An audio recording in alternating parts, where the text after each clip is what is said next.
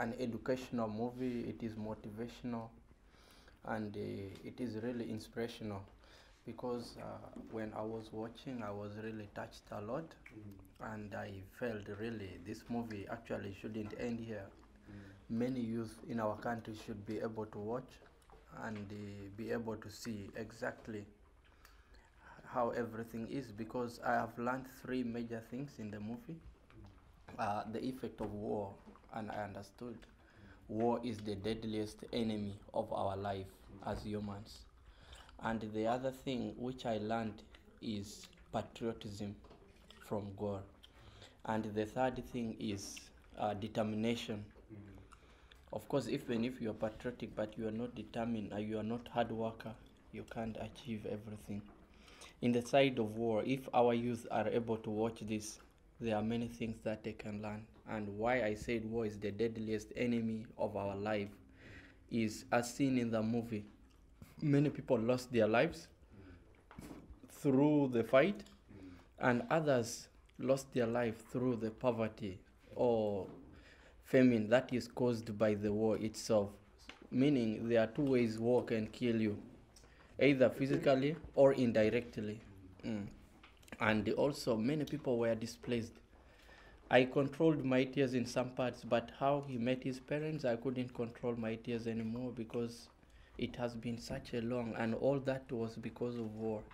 He was separated from his family, and even the situation of the family was very miserable. And why it is miserable is because of war. And the many other things which I learned from that is generally gave me uh, generally gave me a view that war is the deadliest enemy of life. And on the side of patriotism, and why and that is the main side why I said the youth in South Sudan need to watch that movie. Because if Guor, a single man, was able to commit that much and that much for his country, and if every youth watch like me personally, I'm touched a lot by this. Then everyone will go back at night and say, if Guor has done this for the country, then I have to do another thing for the country too. Of course, killing a, a fellow countryman, a fellow citizen, is not anything good for the country.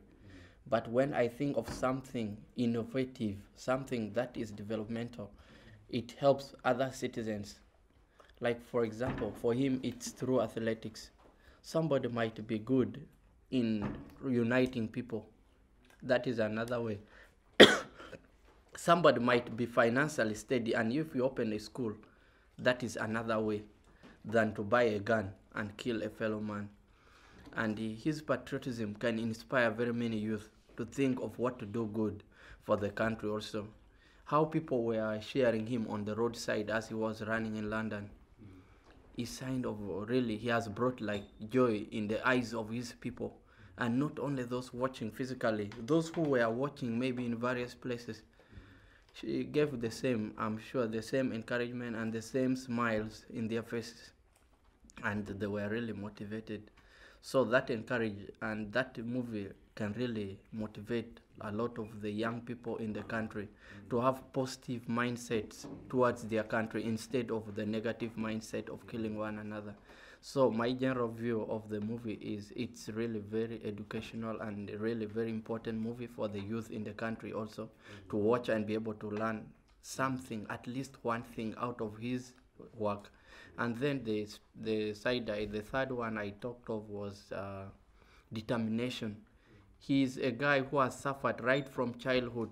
I saw how he suffered being caught first uh, from the riverside, taken, and how he escaped. And again, got somebody who deceived him, kept him in the house, and he had a lot of suffering in that house.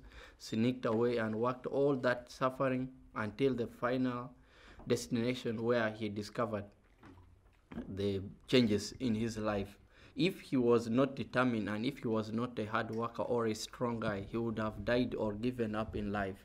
So that motivates me to be always strong. No matter how hard life is today, tomorrow might be different. And like right now, his today is completely different from yesterday. So that is my general view about the movie. I am thankful to God for that movie and also to you who brought the idea for us to watch today. Thank you.